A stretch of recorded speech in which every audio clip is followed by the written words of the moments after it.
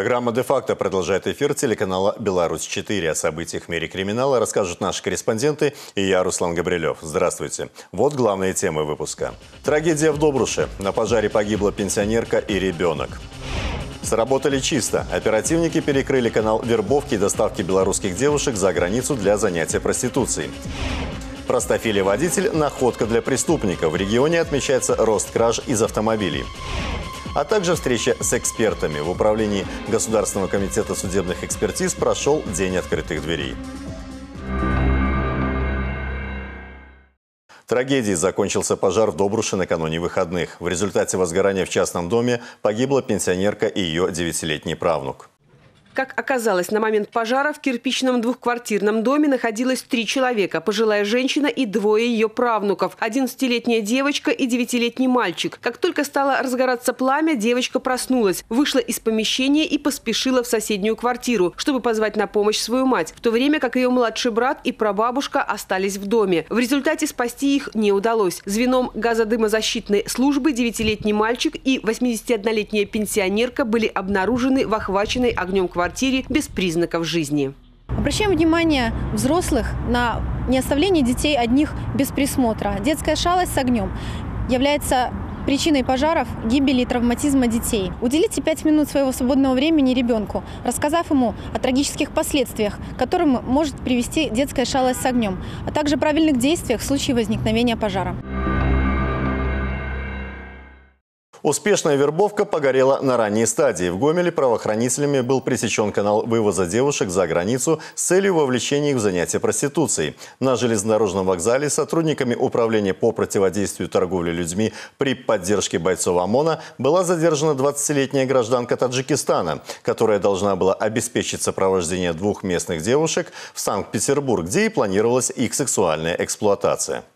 Впрочем, от девушек не скрывали, чем им придется заниматься в культурной столице России. Общение с 25 и 30-летними представительницами прекрасного пола началось посредством переписки в одной из наиболее популярной социальной сети в интернете. Потенциальный работодатель не скрывал, что предстоит заниматься проституцией. В личной переписке обсуждались условия работы, проживание и заработок девушек. Задержали гастролерш и курьера живого товара на железнодорожном вокзале в Гомеле. Их сняли с поезда за несколько минут до отправления. Далее все по намеченному маршруту. Отдел милиции, обыск, изолятор временного содержания. Как оказалось, паспорта белоруса гражданка Таджикистана еще до начала турне забрала себе. У нее же нашли и проездные документы на соискательниц работы за границей. Выяснилось, что в России девушек и их паспорта курьер должен был передать работодателям, то есть питерским сутенерам. По данному факту Гомельским городским отделом Следственного комитета Республики Беларусь было возбуждено уголовное дело по части 2 статьи 171 Уголовного кодекса Республики Беларусь. Задержанной грозит лишение свободы на срок от 7 до 10 лет с конфискацией имущества. К слову, в прошлом году отмечался рост количества попыток вывоза девушек за границу с целью сексуальной эксплуатации. Милиции было зарегистрировано 222 преступления в сфере незаконной торговли людьми, а в этом году показатель составил уже 72. Проблема кражи имущества из автомобилей по-прежнему остаются актуальной для Гомельской области. За три месяца этого года было зарегистрировано 120 фактов хищения ценных вещей из машин жителей региона. В половине случаев подозреваемые были установлены, однако нераскрытыми остается примерно 45% краж, что и беспокоит правоохранителей. Однако, по большому счету, волновать такая статистика в первую очередь должна самих автовладельцев. Ведь именно ими создаются все необходимые условия для совершения краж, хотя в подавляющем большинстве случаев и не нарочно. Оставленные в салонах машин сумки, барсетки, навигаторы, мобильные телефоны, ноутбуки и прочая техника. Все это наилучшим образом притягивает внимание воров и наркоманов. И даже сигнализация не всегда становится для них помехой. В основном похищенное имущество по своему характеру весьма разнообразно. Чаще всего предметом преступного посягательства являются аккумуляторные батареи, наборы автомобильных ключей и инструментов, автомагнитолы и аудиосистемы, зеркала и датчики парктроника, колеса, колпаки.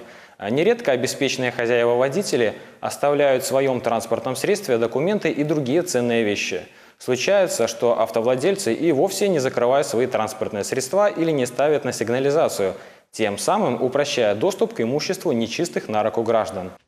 Как правило, такие преступления совершаются утром. Особенно воры любят работать в выходные. Ведь владельцы авто в эти дни спят дольше. А значит, вероятность того, что вора не поймают, выше. К тому же в выходные дни рано утром на улицах мало народа.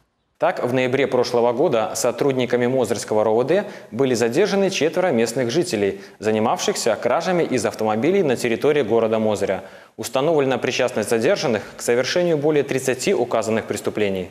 В соответствии с санкцией статьи 205 Уголовного кодекса Республики Беларусь, лицо, совершившее тайное похищение имущества, понесет наказание, начиная от общественных работ, штрафа или исправительных работ на срок до двух лет и заканчивая лишением свободы сроком от трех до 12 лет с конфискацией имущества. Следственным управлением окончено расследование уголовного дела по факту убийства мужчины в Гомеле в сентябре 2016 года. Один и тот же пустырь вблизи железнодорожных путей по улице Интендантской дважды был выбран преступником-рецидивистом для совершения убийства. Вернувшись из мест не столь отдаленных, где находился 6 лет за попытку совершения убийства, парень решил вступиться за своего, как ему казалось, лучшего друга. У приятеля были довольно сложные отношения с двумя знакомыми противоположного пола, а виновником такого положения дел он себя не считал. Выразив девушкам всю свою негодование и злобу по телефону, заявив, что обиженный ими ему роднее, чем брат, парень пригрозил, что разберется с любым и не делает этого только потому, что они представительницы слабого пола. Но девушки высказали свою свою версию их отношений и заявили, что у них есть кому за них заступиться было решено провести импровизированную очную ставку на пустыре. Молодой человек был дерзок и уверен в себе, так как неоднократно уже был судим, в том числе за совершение разбойного нападения в 2007 году и причинение тяжких телесных повреждений. Примечательно, что телесные повреждения в виде ножевых ранений в 2011 году им были причинены знакомому на выбранном месте, здесь же. Но выслушав позицию, доводы и доказательства девушек, мнение о друге резко поменялось. Оказалось, что этот друг жил не по понятиям. Обвиняемый пригласил э, своих знакомых и потерпевшего на пустырь. Э, в ходе возникшей ссоры он выхватил принесенный с собой нож и нанес несколько ударов э, ножом в область расположения жизненно важных органов.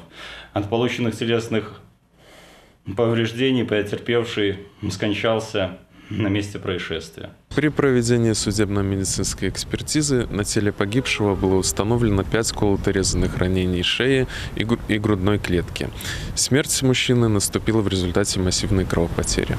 Уголовное дело в настоящее время рассмотрено судом железнодорожного района Гомеля. Рецидив совершенных обвиняемым преступлений на основании части 3 статьи 42 УК Республики Беларусь признан особо опасным. Обвиняемому назначено наказание в виде лишения свободы сроком 14 лет с отбыванием наказания в исправительной колонии в условиях особого режима. Накануне четвертой годовщины со дня подписания главой государства указа об образовании Государственного комитета судебных экспертиз Республики Беларусь гомельские эксперты провели День открытых дверей. Гостями у специалистов Управления Государственного комитета судебных экспертиз Республики Беларусь по Гомельской области на этот раз стали руководители городского и районных отделов Следственного комитета Республики Беларусь. Целью такой встречи было ознакомление с материально-технической базой и возможностями экспертных подразделений, а также необходимость обсуждения ряда вопросов, возникающих при назначении судебных экспертиз. Ежегодно гомельскими экспертами проводится около 40 тысяч экспертиз и исследований. Основные Основными заказчиками этих работ являются подразделения Следственного комитета и Министерства внутренних дел. Проведение экспертизы – мероприятие достаточно дорогостоящее и в большинстве своем требует применения сложных технических устройств и качественных реагентов. Участники высказались за необходимость обеспечения более взвешенного и рационального подхода при назначении исследований отдельных объектов судебных криминалистических, специальных, технических и биологических видов экспертиз. Следователям были продемонстрированы некоторые особенности проведения судебных, дактилоскопических, трассологических экспертиз в комплексе с иными видами судебных экспертиз, такими как химические, биологические, генетические. Эксперты продемонстрировали и возможности закупленного в конце прошлого года хроматомасс-спектрометра, предназначенного для выявления наркотических и психотропных средств в сжатые сроки. Ранее как-то не задумывался над тем, вот, э, что и как более детально происходит, как эксперты э, исследуют те или иные объекты. Сейчас вот сам увиделся воочию в этом. Даже очень интересно понравилось, как состоит, из чего состоит волос, другие клетки ядерные, с которых мы хотим найти для сравнения хоть что-нибудь для себя, чтобы сравнить, подозреваемое это или неподозреваемая вещь и так далее. Поэтому я считаю, что такие экскурсии очень познавательные. Хотелось бы в дальнейшем даже продолжить такое вот сотрудничество даже с экскурсиями. Может, какие-нибудь новые объекты или предметы, э, приборы будут у экспертов тоже, чтобы они делились своими познаниями с нами. Очень приветствуется это. И в преддверии праздника хочу пожелать нашим коллегам, экспертам, это удачи в профессиональном плане, крепкого здоровья, в личной жизни всех успехов, чтобы всегда они с чувством оптимизма относились к своей работе. Ну и от нас все, что, все, что мы можем, мы всегда всем им поможем. По итогам встречи руководителям структурных подразделений Следственного комитета предложен механизм более рационального проведения экспертиз, в том числе с учетом возможностей территориальных органов Государственного комитета. Специальное мероприятие «Правопорядок» прошло в центральном районе города Гомеля. В отработке были задействованы сотрудники районного отдела внутренних дел, милиционеры департамента охраны, отдела внутренних дел на транспорте, госавтоинспекторы, а также члены добровольных народных дружин и сотрудники ОМОНа. Не остались в стороне от дежурства и солдаты войсковой части 5525. Каждой группе были доведены конкретные задания по направлениям работы, и результат не заставил себя ждать. Правоохранители по горячим следам задержали 29-летнего гомельчанина, который попытался украсть в одном из торговых центров рубашку. И это ему почти удалось. Но после сообщения о пропаже милиционеры смогли найти вора и доказать его причастность к краже. Кроме того, в день отработки также было обнаружено незаконное перемещение некурительного табака на свай. Правоохранители обнаружили в грузовом автомобиле два мешка мешка этого дурмана и арестовали 20 тонн нелегального сыра. У перевозчика отсутствовали на продукцию необходимые документы. Как говорят в управлении внутренних дел, массированные отработки хороши тем, что целая группа милиционеров единовременно работает по разным направлениям. Основной упор сотрудники милиции сделали на охрану порядка в общественных местах, усиление защиты наиболее уязвимых категорий граждан от противоправных посягательств, обеспечивание контроля за режимом пребывания иностранных граждан и лиц без гражданства, а также усиление контроля за ранее судимыми и другими категориями лиц, состоящими на профилактических учетах. Можно также отметить тот факт, что во время проведения мероприятия на входе в Ледовый дворец был задержан 18-летний парень, который предъявил справку о том, что является учащимся вспомогательной школы-интерната. Данная справка вызвала подозрение у милиционеров. Как оказалось, документ настоящий, однако ранее принадлежал младшему брату. И это все, что мы успели рассказать вам сегодня. Будьте в курсе происшествий Гомельского региона вместе с программой «Де-факто» и берегите тех, кто вам дорог. До встречи!